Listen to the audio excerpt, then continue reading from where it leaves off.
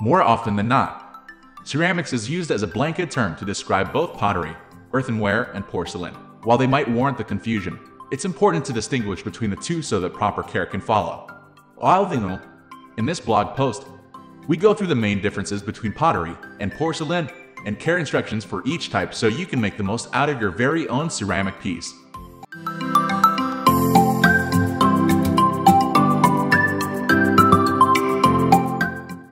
Pottery. Pottery is a vessel made of soil as the main ingredient. Compared with porcelain, its soil has lower density and weaker hardness, so it is often made thicker in actual production.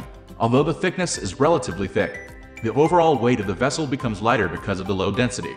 In addition, because pottery tends to absorb water easily, it can change the appearances of the vessels and leave some odor after multiple uses. The texture is not completely uniform either. Instead, each vessel can present a unique warm expression. The softness and different appearance are the characteristics of pottery.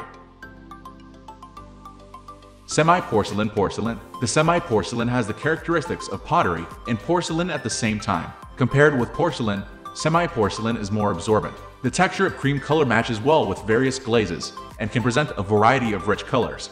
Like pottery, it can present a warm and moist appearance. Porcelain pieces are fired with stone powder. Compared with pottery and semi-porcelain, porcelain is fired at high temperature, so the clay body is firmer and has higher hardness and durability, so it can be presented with a thinner thickness.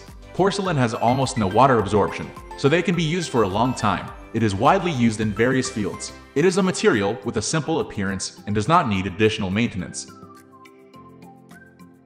Main differences. The major difference between ceramic pottery and porcelain is the composition. Ceramic pottery pieces are made mostly of natural clay, a few organic materials, and water while porcelain pieces instead have a light mix of clay, a lot of kaolin, the element that makes porcelain tighter, silica, quartz, feldspar, and various other materials.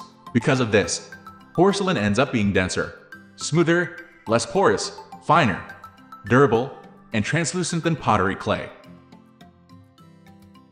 Before first use, because pottery is more porous than porcelain, and the clay body less dense than porcelain, pottery pieces tend to absorb water, oil, and liquid from food. It could also tend to get stained by the color from food. It's recommended to perform the steps below to kind of seal the pores on the pottery pieces. Put a white, plain cloth towel on the bottom of the pot and place the pottery pieces directly on it. Fill the water they used to rinse rice to the height of the vessel after simmering on low to medium heat until boiling, switch to low heat to keep it in a non-boiling state and simmer for 20 minutes. If it is in a boiling state at this time, it may cause the bottom of the pot or vessels to collide with each other and cause damage. Please pay attention to the state of the rice washing water. After turning off the gas, take out the vessels and let them cool down before rinsing them with water. If the vessel is not completely filled with starch material after a single treatment, repeat the above steps Care instructions. It's important to let the vessels be fully air dried after use. Even if the surface appears to be dry, most of the water will remain inside. So please turn the pieces upside down. Do not stack them, and place them in a place that can be exposed to sunlight for half a day to a day. Wait until the vessels are completely dry before putting them in the kitchen cabinet. Please try to avoid leaving food in the vessels for a long time after eating to avoid staining or odor on the piece.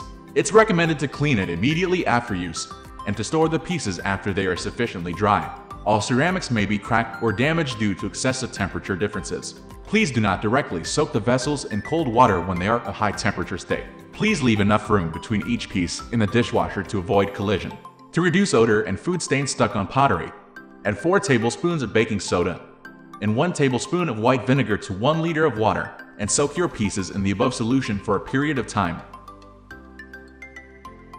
we are going to end this video right away. If you have any query or information to share, please leave a comment below. Thanks for watching.